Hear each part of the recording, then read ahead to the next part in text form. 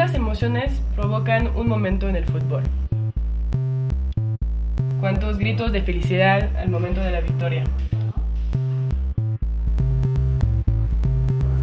Acción. ¡Gol! Así, el Mundial del Fútbol, sus momentos y sus emociones.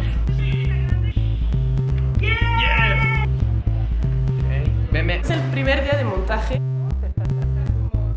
Viendo aquí enfrente al lente. ¿Te gusta el fútbol? Sí. Como un espectador de fútbol, imagina el fútbol lo que siente, el enojo, la sorpresa, la expectativa, la victoria, la alegría.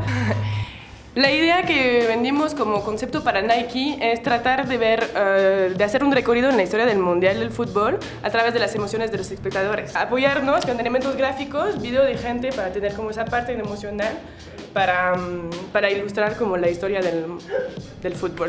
Discutíamos, ¿no? Cuando estábamos en este brainstorming, de alguna forma lo más importante era cómo, cómo entender, cómo poder contabilizar, si, si es que hubiera un método, las sensaciones que promueve el fútbol. Sabemos que hay muchas maneras de, hablar de fútbol, pero, pero lo que transmite, lo que siente la gente, la vivencia, el corazón, el alma o la decepción, ¿de qué manera podemos expresar esos sentimientos de, una forma inusitada, eh, espectacular, distinta, artística, por supuesto, y que de alguna forma eh, respaldara los valores de la marca?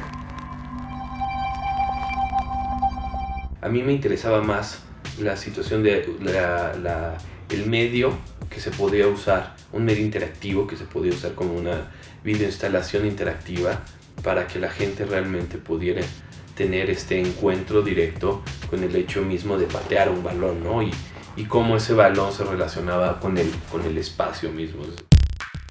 Me parece muy interesante la parte de la interactividad del usuario, ¿no? Eh, y cómo va aprendiendo como diferentes hechos de los mundiales a partir de, pues, de una pieza inusitada, ¿no? Donde se le involucra en audio, se le involucra en, en datos y en la presencia que tiene en la tienda. El hecho de que la gente llegue y realmente se involucre, que no es una pieza lineal, es una pieza que salta dependiendo del espectador y es el mismo espectador el que la, la hace parte de, de, de él mismo.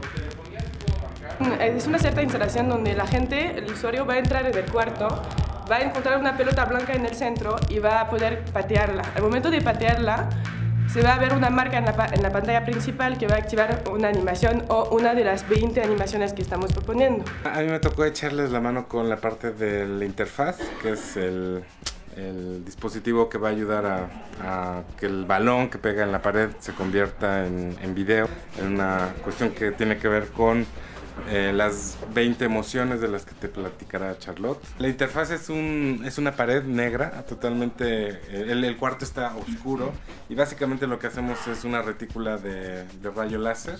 Son una serie de pequeños láseres que están dispuestos cada 15 centímetros. El balón golpea y en ese momento el, el sensor se apaga o deja de transmitir y la computadora sabe dónde pegó la pelota. Eso es importante porque la pelota eh, no solamente dispara el video, sino dispara también la posición del video. Y pues va, eso es lo que me toca hacer a mí. Ok, pues yo voy a hacer la edición ¿no? de aquí de alguno de los shots. Vamos a tener todas las, las tomas acerca de las emociones que se van a manejar. Y pues prácticamente vamos a dedicarnos ahorita en la primera etapa a, a, a sacar los, los más representativos. Yo hice el diseño sonoro y esto lo que consistió es musicalizar cada uno de los clips de video con un sistema espacializado en 5.1. Esto es para tener una dimensión espacial del sonido que está en relación con la instalación del video que también es como espacial. Mi tarea es como coordinar todos los materiales y que se detonen al mismo tiempo las animaciones, eh, los audios, conectar los sensores con la computadora y ahora estoy trabajando precisamente en cómo van a funcionar la, las zonas sensibles.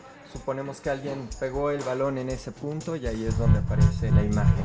Como es un gran equipo y un equipo increíble que trabajó en este proyecto, había como que definir de una cierta manera uh, el contenido de estas eh, animaciones. Claro, bueno, vamos a hacer actuar a 50 personas frente a la cámara, emociones que tienen que ver con el fútbol y con la locura del, del gol. Preparé una iluminación para solo iluminar rostros, para que floten en un espacio donde todo el cuarto va a ser completamente negro y va a haber unas diferentes caras que van a tener como expresiones de gol o de, o de tristeza o de fastidio cada vez que un balón pegue en las pantallas.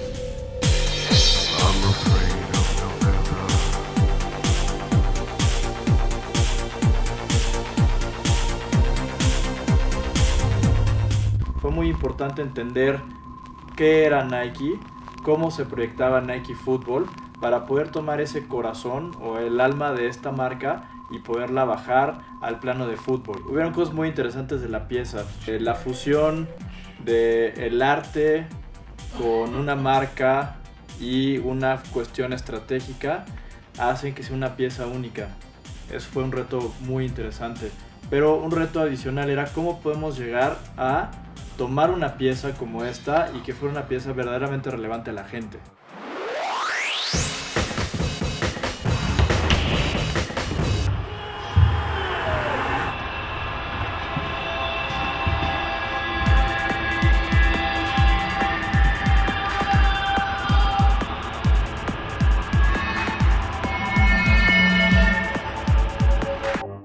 El hecho de dar un balonazo y que ese balonazo interactúe con un, con un espacio que tiene tecnología de, de- de- sensores, de ordenadores, de, de video, animaciones y todo eso, para mí era muy importante.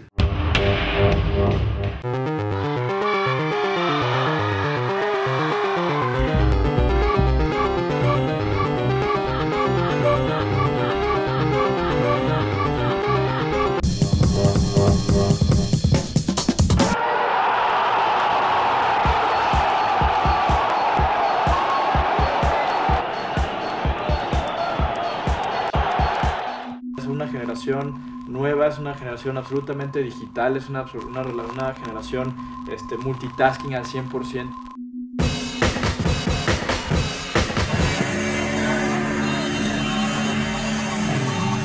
Son cosas que hace 20 años era, era imposible pensarlas, ¿no? Era imposible pensar en llevar a cabo y mucho menos en, en- en- una tienda.